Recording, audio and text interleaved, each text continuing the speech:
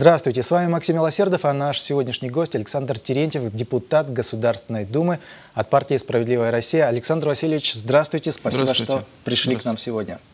Александр Васильевич, вы сейчас частый гость в регионе, я так понимаю, депутаты Государственной Думы сейчас работают по новому принципу. Обязательно, чтобы часть работы была в Москве и обязательно, чтобы э, как минимум неделю проводили уже в своих регионах. Верно? Таким образом получается? Ну да, мы в значительной степени Государственная Дума изменила свой регламент. Три недели теперь депутаты работают в Государственной Думе, и одну неделю работает э, каждый в субъекте. У кого сколько У кого сколько вот да. субъектов? У вас получается сейчас не один Алтайский край, а сколько? Пять у вас субъектов? У меня пять субъектов. От четырех я баллотировался, и один нагрузку Новосибирскую область. То есть у вас теперь Алтайский дала. край, Республика Алтай, Новосибирская Тува, область, Хакасия. Республика Тува, Хакасия. Да, да такая большая зона хватает я внимания? Даже, я даже не могу пока представить, насколько большая и как осуществлять полномочия. Более того, вот сейчас нам с Нового года добавили еще двух помощников, потому что с тем количеством помощников осуществлять полномочия было нереально. У депутатов Госдумы пять помощников, но двое это те, которые... И сейчас добавили еще двух. Э, пока сложно значит, эту тему обсуждать, потому что есть проблемы с общественными приемными. Значит, то, что у нас было наработано, все-таки уже 10 лет в Государственной Думе, помощники, которые у нас работали вот в Алтае, mm -hmm. два помощника, потому что огромное количество обращений, около полутора тысяч было в сентябре месяце вот, на выборы в Государственную Думу. И э, Алтайский край выстроен, да, вот взяли помощника мы в Республике Алтай. Все остальное пока еще в таком э, состоянии нужно решать проблемы с выделением кабинета.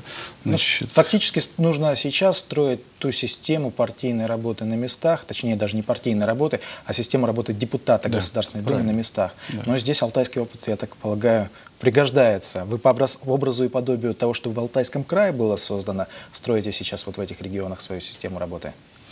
Знаете, э, сложно сказать, потому что каждый регион имеет свою специфику. Вот в Алтайском крае наработана достаточно э, хорошая практика, и люди к нам идут, потому что многим очень помогаем. Э, остальные субъекты, пока мы э, дали такой циркуляр, чтобы обращались в Государственную Думу на имя моей общественной приемной э, в Государственной Думе, значит, или значит, к лидеру партии, а потом уже По сбрасывали уже на меня. Информация да. приходила. Значит, ну, количество обращений совершенно мизерное. Не знаю, с чем связано, я думаю, что в процессе разберемся. Хорошо, а времени-то хватает на Алтайский край? Получается, пять регионов за неделю? Сложно сказать. Э, все же знают, что депутат это э, осуществляет две функции. Да. Представительную и законодательную. Да? Значит, э, политика сегодня – это в значительно большей степени законодательная функция, потому что очень много законопроектов еще с прошлых периодов, некоторые до 10 Остались лет лежат. Да. да. И поставлена задача в весеннюю сессию. Нам, вы знаете о том, что каникулы у нас сократили, то есть наш отпуск будет только в августе месяце, а все остальное время мы работаем. И это нормально. Потому что я считаю, что вся политика, которая ведется, она ведется на укрепление имиджа, позиции государства как главного законодательного органа в стране. Государственная Дума. Да, да, у нас. Но Поэтому... сейчас при этом же все равно меняется система взаимоотношений между депутатами Государственной Думы и местными органами власти.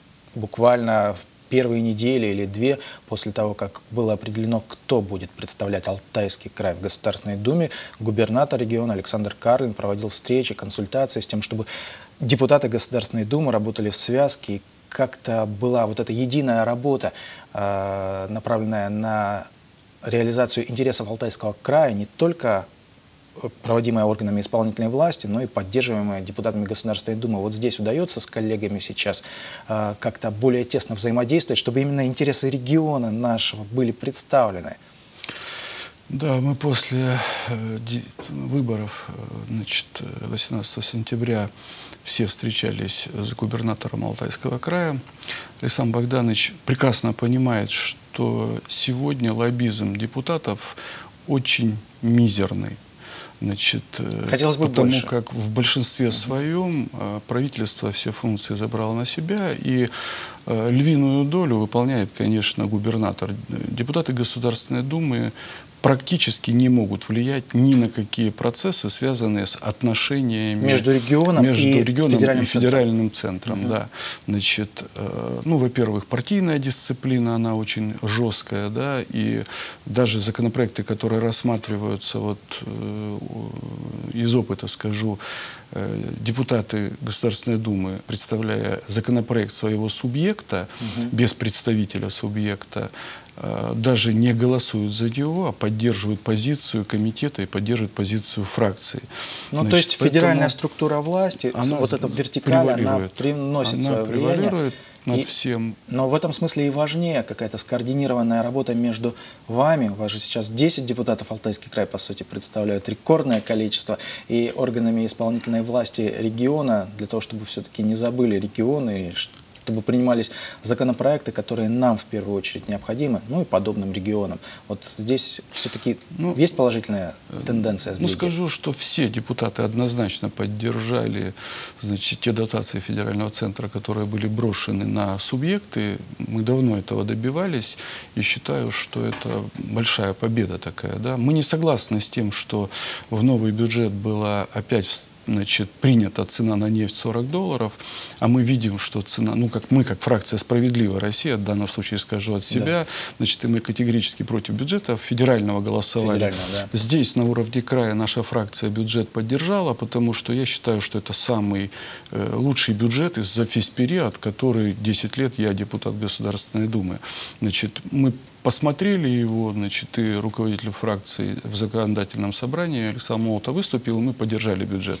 На федеральном уровне наша фракция голосовала против, потому что мы считаем совершенно неправильно, значит, э, это опять та же практика, как было до кризиса, значит, э, определяет правительство цену на нефть э, прогнозную этого планируют уже 40 кошелек долларов, да? и всю разницу они будут опять отправлять в фонды. Мы категорически с этим не согласны. Мы считаем, что это отъем средств вот, э, у э, развития нашего государства. Это наша убежденная позиция. Я не понимаю, конечно, позицию правительства, накапливать эту подушку, потом ее съедать. Я считаю, что деньги, которые зарабатывают, нужно вкладывать в развитие, чтобы завтра значит, не попадать в кризис, а стабильно, чтобы государство развивалось. Значит, э, наша убежденная позиция, что так значительно правильнее значит, Ну и в этом смысле, бы. и в этом смысле тем интереснее, тем привлекательнее получается выглядит региональный бюджет, который вы поддержали. Да.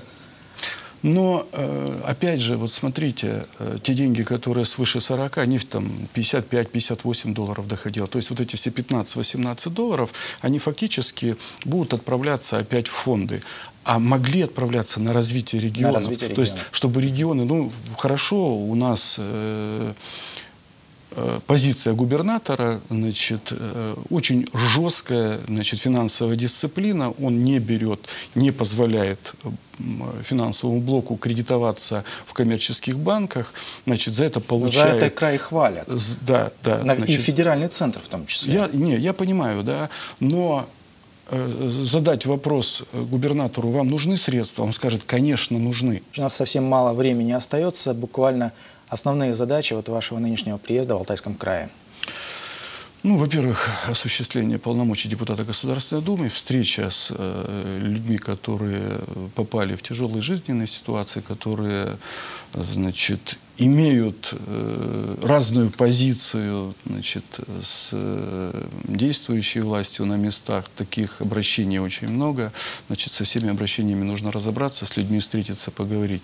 Следующее, это у нас совет сегодня будет э, в партии «Справедливая Россия» в Алтае. Значит. Ну и э, подготовка к выборам. У нас в крае больше 6 тысяч выборов. Очень серьезные выборы ожидаются, самые Да, крупные это, за последнее это, время.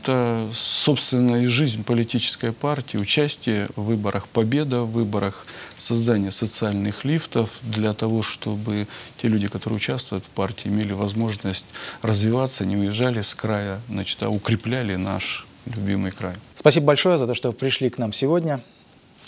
Благодарю всех, кто смотрел нашу передачу. Значит, надеюсь, что э, каждый человек услышал для себя то, что хотел. Спасибо вам большое. Это был диалог с депутатом Государственной Думы Александром Терентьевым. До свидания.